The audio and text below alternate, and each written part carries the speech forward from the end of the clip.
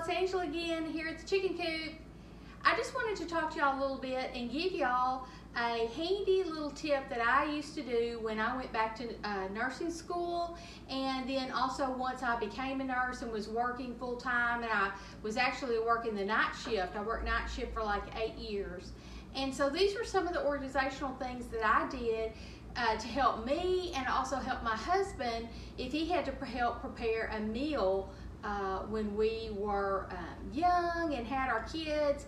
And I went back to school uh, for nursing school in like 1998, I believe, is when I went back.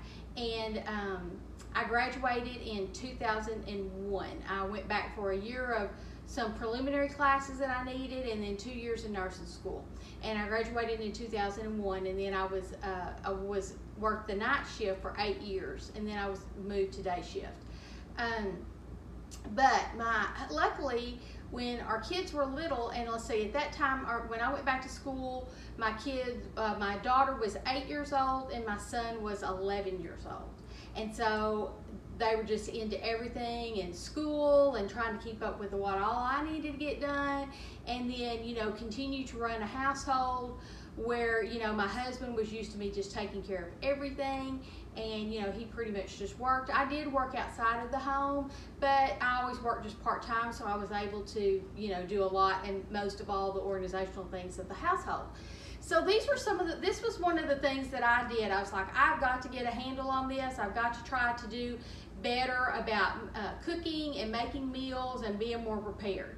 So what I would do is I would sit down and try to kind of make out a menu, not necessarily for each night of the week, but just, you know, three or four meals ahead of time. This is what we were going to eat.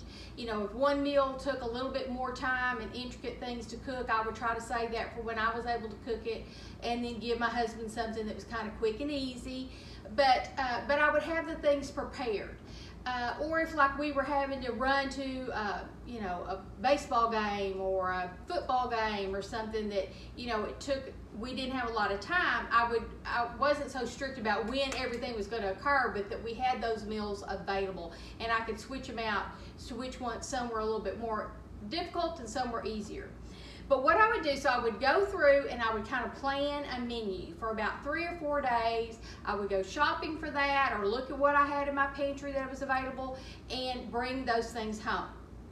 And then I would put, usually I, I had these baskets, they're in my pantry, and I can get, let's see, one, two, three, four baskets across a row when I put them in there like this, okay? When I set them in there like this, I can get four baskets across one of the rows in my pantry. And I had these baskets in there, and what I would do is I would make it, and I, I found these actually when I was looking for the tea recipe in my uh, one of my cookbooks. So this is kind of what spurred me on to think about this, what I used to do. Uh, was I had these little menu things planned out. Little cards just on scratch paper. Like this night I was going to have sausage, sausage, vegetable soup, rolls, and grilled cheese. Real easy. Uh, this one, twice baked potatoes in a salad. Uh, this one, lasagna, salad, green beans, and garlic bread. Uh, let's see. This one, I was to have chicken wild rice soup, salad, garlic biscuits, and a peach crisp. Um, this one, Mexican chicken casserole and a salad. Uh, gumbo, garlic, biscuits. Corn chowder, salad, uh, corn chowder, salad, cornbread, or garlic biscuits, whichever one. Mexican chicken salad, oh, I'm sorry, Me Mexican chicken chili salad and cornbread. Sausage, cabbage, mac and cheese, and corn. Broccoli chicken cup salad cookies. Beef tips and rice, I've given you all that recipe already and Mexican chili chickens, ch Mexican chicken chili salad and chips.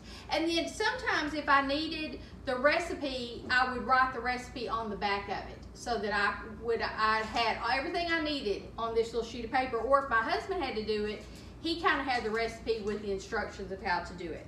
So what I would do is I would come home from the grocery store. I had been shopping, wrote my menu plan out, brought all the groceries home, and what instead of just putting everything up in the pantry, I would take whatever it took to make that meal, I would go through those ingredients list and I would put it in this basket. Okay, and usually I would try to do like two meals at a time. Of course, the meat or whatever was in the freezer and I would have had set that out from, you know, in the refrigerator to defrost or whatever like that. But any canned goods, sometimes some spices, whatever I felt like uh, needed to, to go in here, I would put it in this basket. So usually I could get about two meals per basket. And then I would take whatever that meal was and I would paper clip it to the front of the basket. So that I would know that these were the ingredients for those two meals. So number one, it saved me because I was planning my meals and planning my menus. And I don't care what you say, when you plan your meals and plan your menus and cook them, it's always cheaper cheaper than when you're stressed and you have to go and buy something processed or already pre-cooked or something like that. But having your meals and cooking them at home is always cheaper. So number one, it's a little cheaper and it was less stressful for me because I knew that if I couldn't cook it, my husband could fix it. I had some things there available, okay, that were easy to do. And so I would have these things, I would have these baskets lined up in my pantry and ready to cook. And then also it saved me from my husband saying, calling me at work or whatever and saying, I can't find that can of whatever you're talking about. I can't find where is the spice that goes to this? Where's the instructions for this? So uh, luckily, you know, he was pretty good at, you know, following some simple instructions. I always had just quick, easy, simple meals. Nothing big and elaborate, okay? We just needed to get fed for the night, okay? So that's what I did. And one of the things that brought me back to this is because we I haven't done this in a long time because my kids are way long gone and grown, but we are spending way too much money going out to eat. You know, I, I feel like I don't have anything in my pantry ready when I need to to cook a meal. And that just bothers me. I try to be a really organized uh, person and a really organized housewife. And also, too, I'm ready to retire, folks. I've got to start saving some money so I can retire, so I can quit work, working. So I thought that is one of my things that I'm going to try to do for the first for the new year is to try to be more organized and go back to this system because when I did this, this really worked. This was a good system for me good system for our family. And I, you know, it's just an idea for you. Y'all may have a different way of doing it too. I'd love to hear from you. So make some comments about how you plan your meals and your menus and how you uh, organize that in your pantry. Uh, I would love to hear all those ideas for you. Maybe I can share it on a next video. So this is Angela from the Chicken Coop and uh, I hope this helps you for the next year to get organized and helps these young mothers. I feel like if, you know, we've all been there, done that, and if we don't help them, you know, life is just getting more and more stressful and more and more out of hand. So anything we can do to help them, it could be helpful for them.